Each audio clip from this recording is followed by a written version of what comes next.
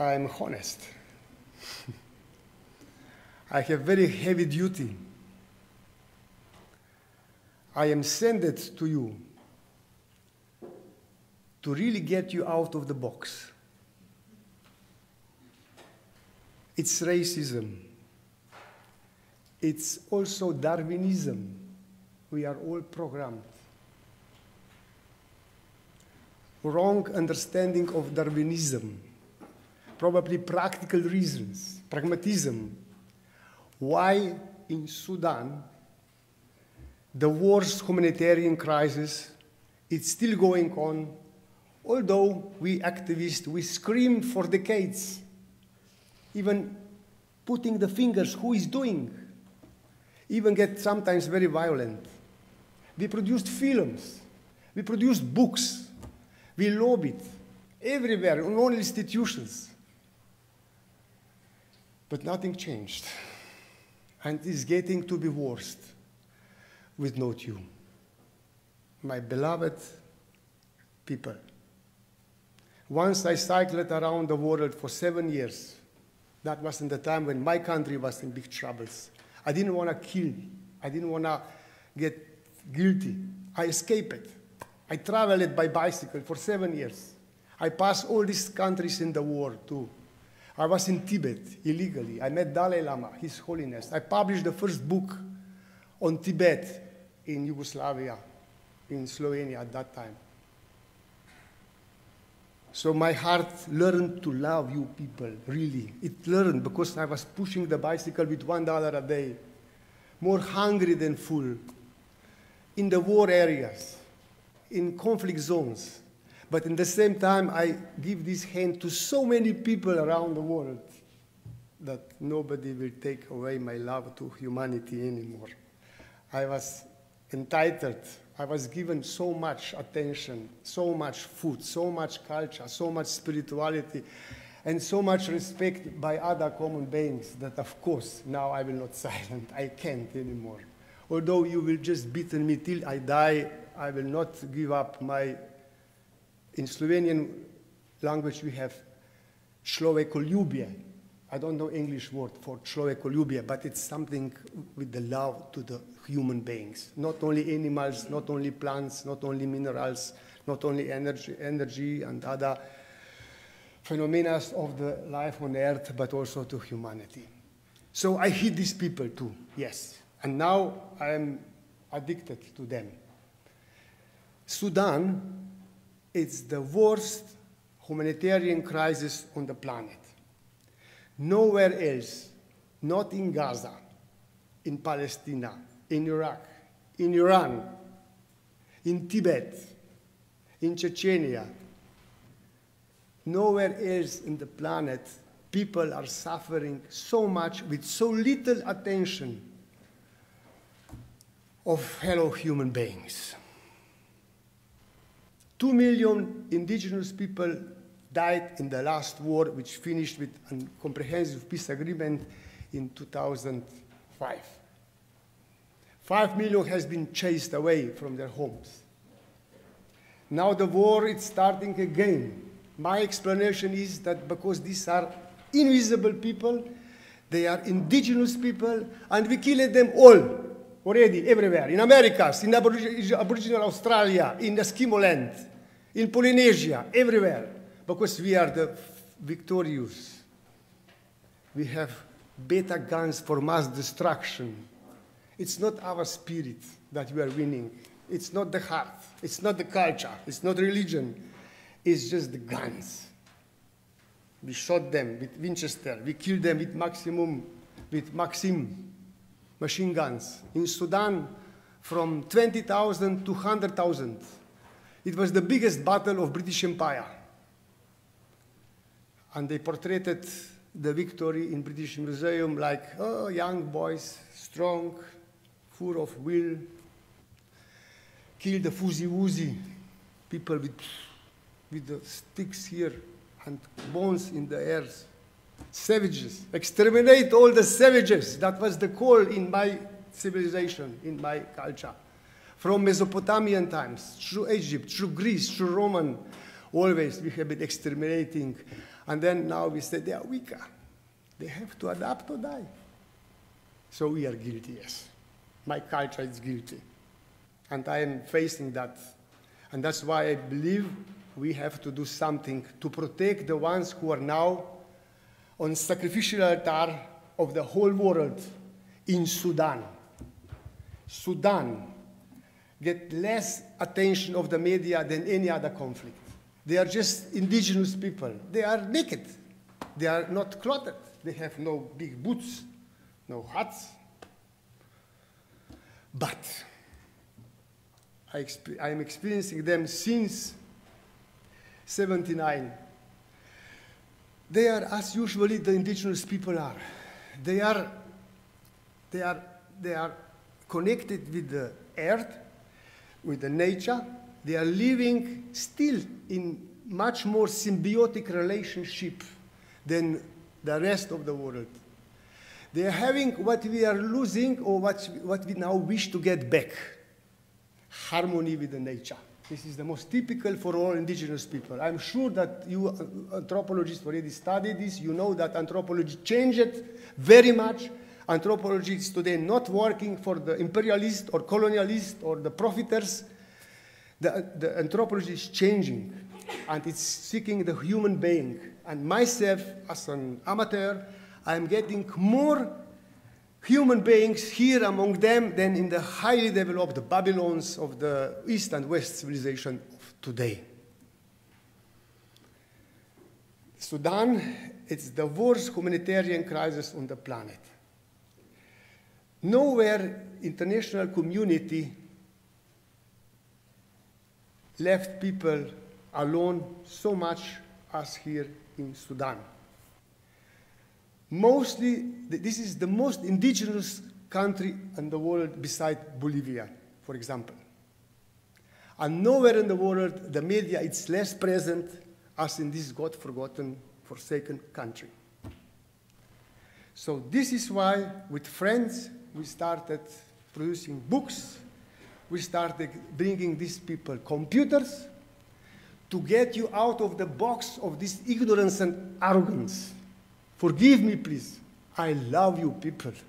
I love you more than animals and trees. And I learned to love you and respect you because I saw you so different, so beautiful everywhere. But I still don't understand why it's so difficult to see that we people are naturally different. Even in Quran, you have the sentence, I, Allah, create you different so you can learn from each other. Why we are not learning from each other? We, we, we have so much to learn. Carl Jung said there is still so much to discover. The world should not stay in this box. We must broken this box. And I believe all goods which came out after the Second World War came from Carl Jung. Not Freud. Corporations are using Freud what he discovered to manipulate the people and enslave us again. 70 corporations in the world are practically ruling everything today. Also our perceptions. That's why we are in the box. And I am suffering in this box. Whenever I come back from these people, I, I, wanna, I don't know what to do. Drink to death, hang myself, or take bombs and start throwing bombs. I produced a couple of films. I tried to explain nicely six, seven books, a lot of lobbying. Now, I believe in cameras. That you will see the beauty of this indigenous, with nature connected, in symbiotic relationship with animals and plants and minerals, water, and everything exists, people. So we are distributing them cameras, little cameras, so the woman can hide them into the additional hole.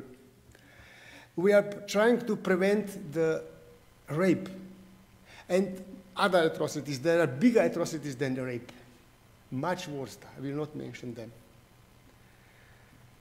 On the end of this my appeal and my scream and cry, I will tell you experiences.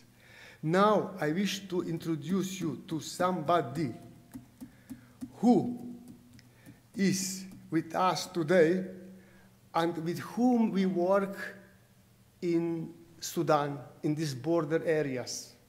He's a rebel. Yes, he's a rebel, but he has no gun. He's not a terrorist. he loves his people.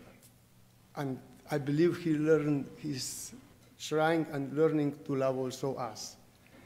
This gentleman who is today sitting with us as the only African in this uh, colorful public, it's Mr. Suleiman Jamous, humanitarian coordinator of the foreign rebels, always in civil, never in uniform, never killed nobody, never was present when they've been doing killings on all sides. He was uh, uh, elected to be chairman of the rebels in Darfur twice. In 2005, that's when I met him first time. And last year, when he managed to help to unite all the rebels against the racism, against the total ignorance and arrogance of the elite in Arab part, North Sudan. Mr. Suleiman Jamous, please come and tell us why started the war and what are the reasons that it's not stopping, it's spreading. Please.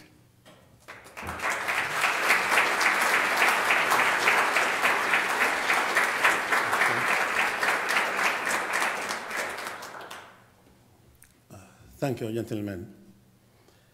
And uh, thank you for the Slovenians. Thank you for the University of Maribor and the rector giving me this opportunity to at least to say some few words about the conflict of Sudan, starting from Darfur. The map.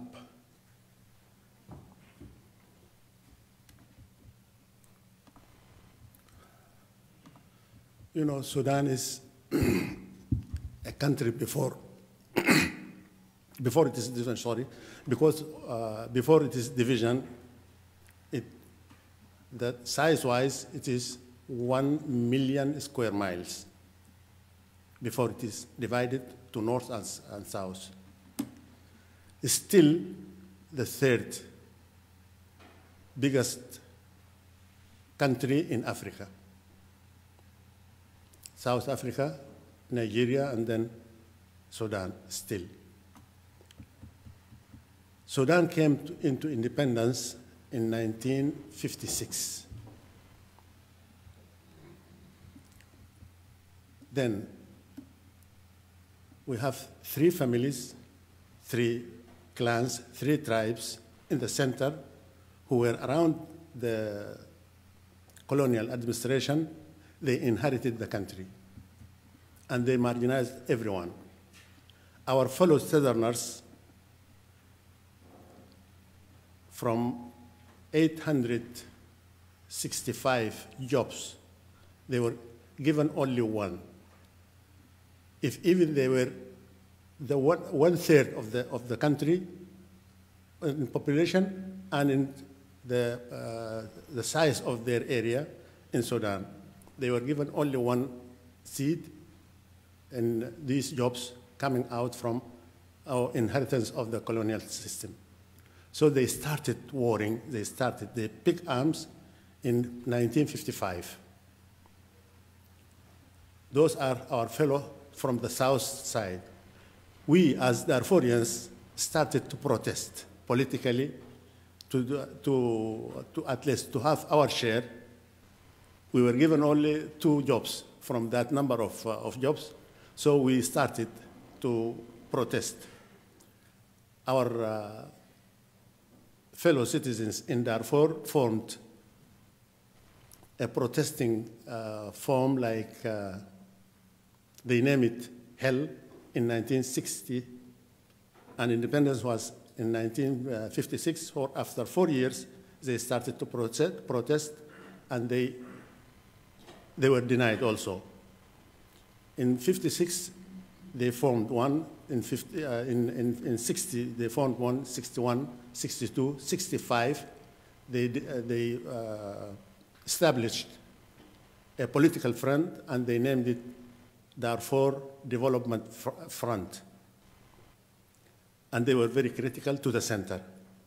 the center fought, fought back by some kind of a policy of divide and rule.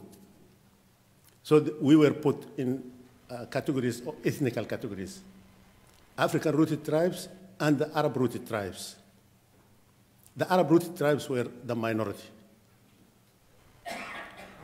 So they equipped them, they gave them uh, weapons and encouraged them to fight, or encouraged them to fight to scorch land to, margin, to the marginalized people in Darfur, those who are from the uh, African rooted tribes. In this case, the African rooted tribes fought back and they took arms against their fellow citizens.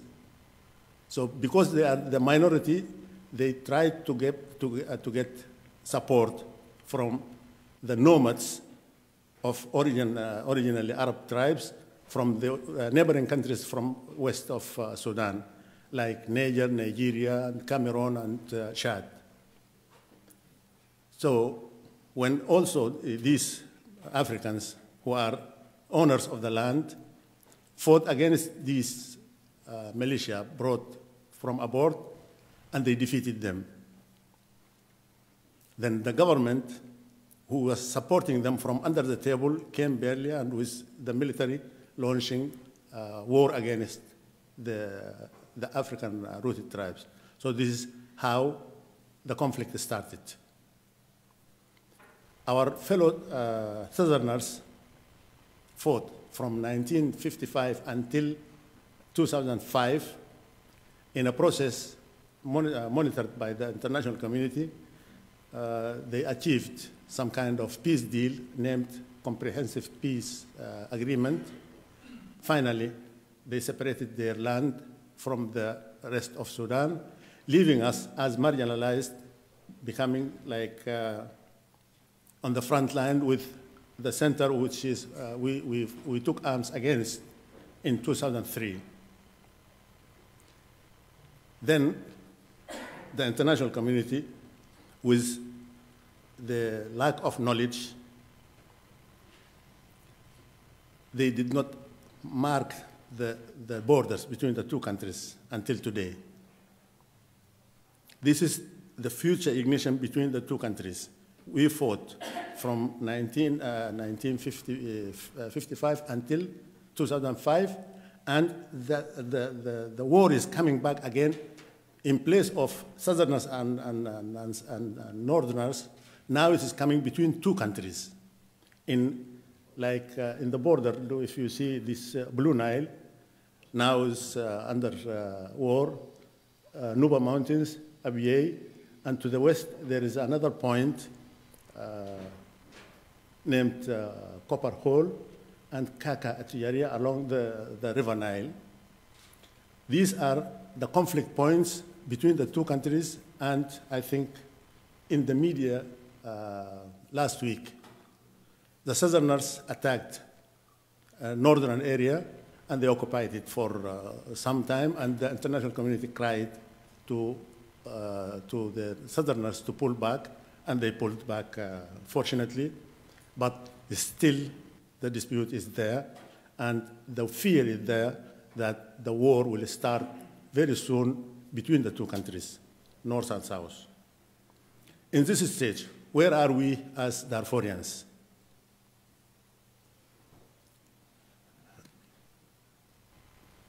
The international community sponsored some kind of a peace deal in Abuja in 2005. Unfortunately, it was affected by the interest of the Americans who were approaching some kind of uh, what they name uh, middle term uh, elections.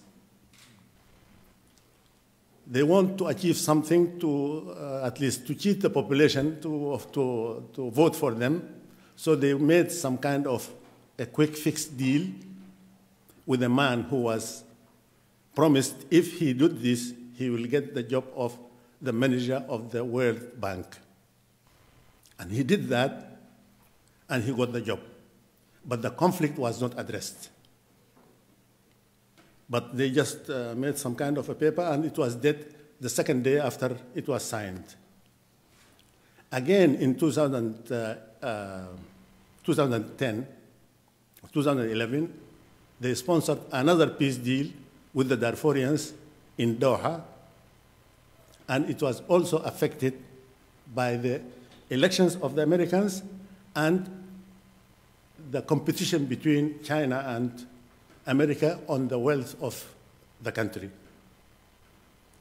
So it was also dead the second day. It was signed because it did not address the, the root causes of the conflict. Now, uh, the conflict in Darfur is still going on because of the still the same uh, policy of divide and rule, and now uh, we are now uh, facing the, the second year after the peace deal was, uh, was signed, and nothing happened on the ground. Still, we are on, on the same stage of making a, a quick fix peace deal, leaving the root causes which ignites the war again on, uh, on, on the, uh, in the country. in these days, there is war between the south and north in Blue Nile, Nuba Mountains, Abyei, and uh, Kafia Kingi, which is the copper hole to the peak south, and in area of Kakatijaria. Plus, the Darfurians fighting in Darfur and in Kordofan to the west. Darfur is peak uh, west, and then uh, uh, second is Kordofan, which is including the Nuba Mountain, all, the, the, all those to the west of Sudan. The, the third point, which is uh, we can name the peak uh, east, which is the, the, the port, the main port of, uh, of Sudan. Uh, there are the bigger tribes are, are starting war against the center also.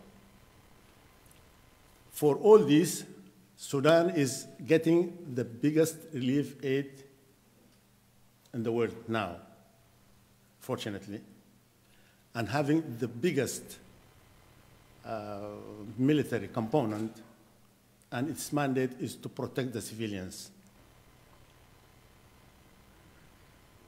But they are ill-equipped, ill-trained, inefficient, and the, and, the, and the area is too wide to cover with 20,000 troops.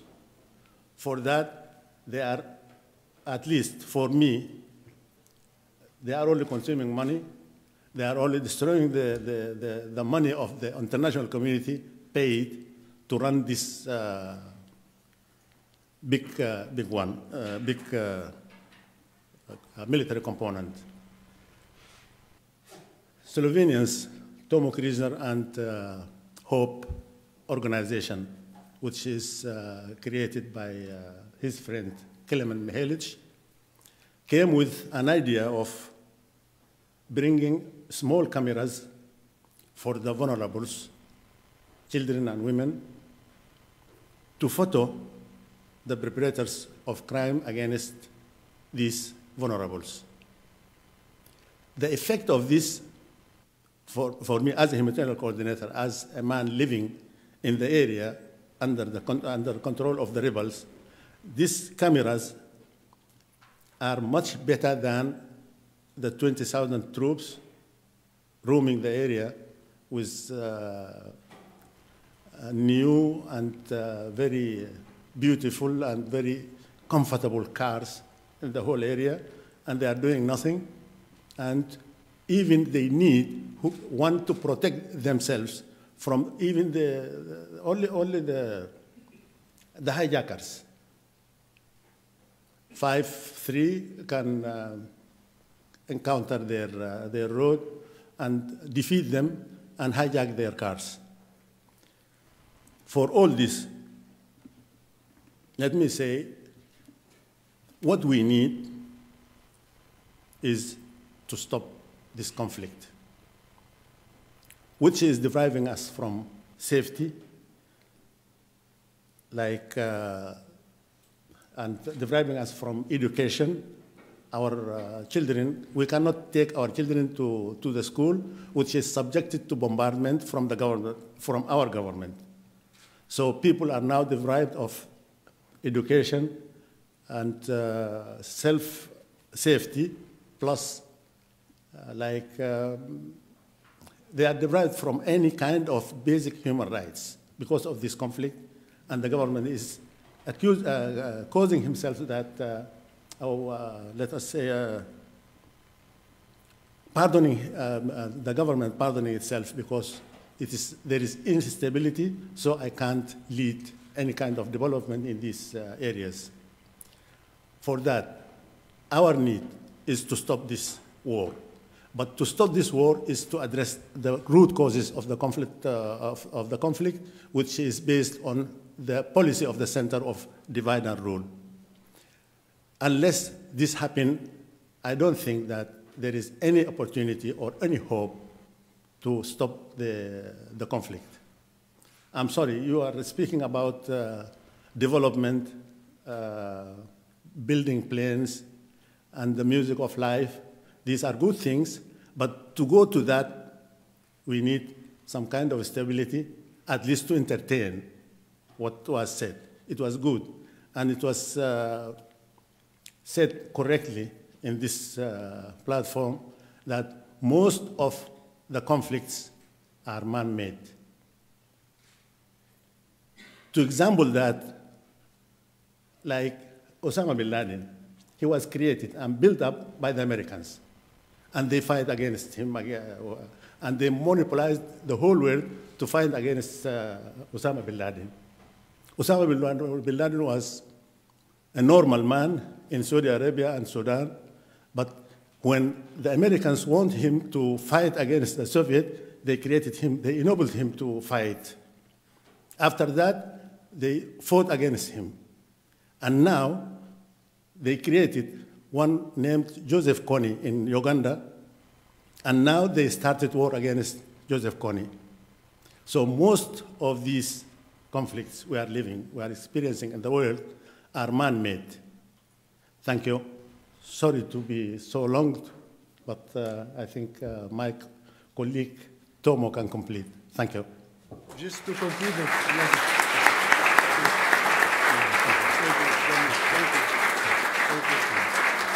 Yes.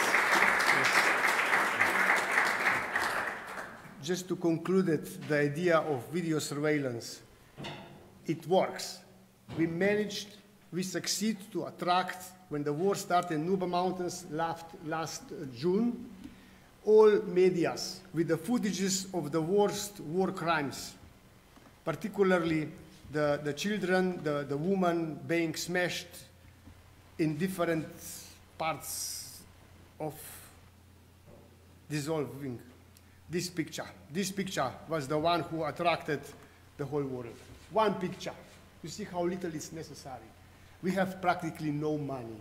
We, we collected from public after the screening of this film, uh, Eyes and Ears of God, video surveillance of Sudan, in two months, 14,000 euros, which is nothing and it's plenty. It's plenty because it comes from the common people in the small village cinema halls around Slovenia only. Our plan is to get all media into Nuba, Darfur, back to Darfur, Abyei, and now in Blue Nile. Why Blue Nile? Because it's more ignorant, the world is more ignorant about Blue Nile than about even these other provinces. We succeeded to start pushing media and even politicians to talk about. We succeeded to get George Clooney. He was like a god appearing with his reports, yes, these guys are correct. We have to start negotiating with China.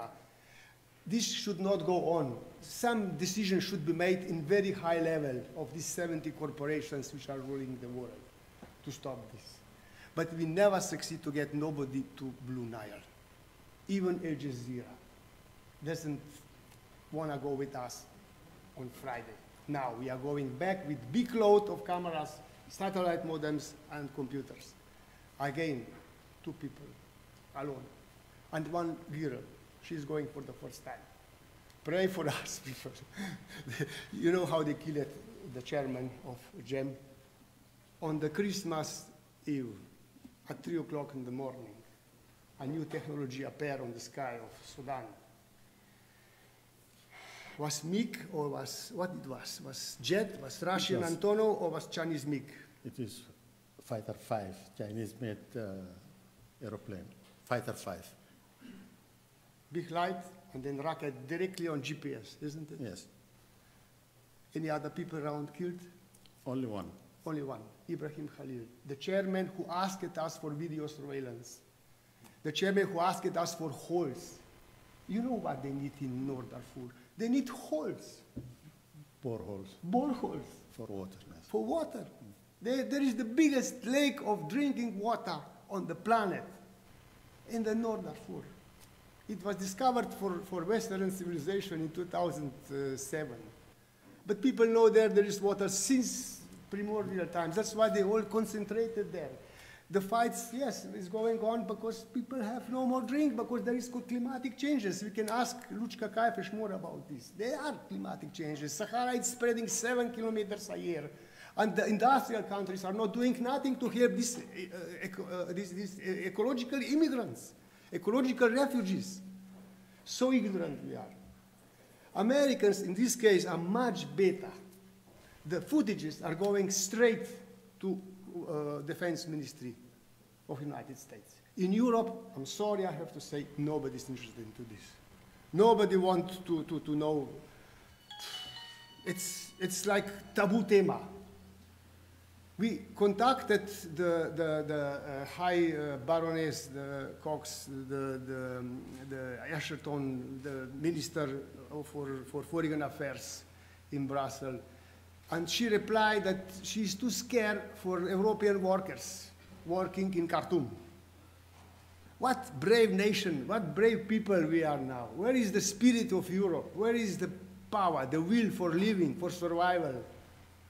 I, I think we need to dig Europe and again express what we have the best, not to lose the trust of the people around the world, so they will not turn all against us. I need to stop. Please, you can see this film in YouTube. We put it there not to make money, but to scream and give these people the right to live, not luxurious life, not privileges. To hell with that, just that they survive, that their children will not be killed. I have three. I'm sure everybody have, most of you have children. Imagine that you get your child dead, killed, because of the ignorance of the, your co-humans. You can see, please, all this more in the YouTube. Just go under Tomo Križnar, you will find that. Please, if you can help us, if you can go back to your countries, if you can do something, please contact us. We need you because we respect you, we trust you. I do. Thank you. Thank you so much.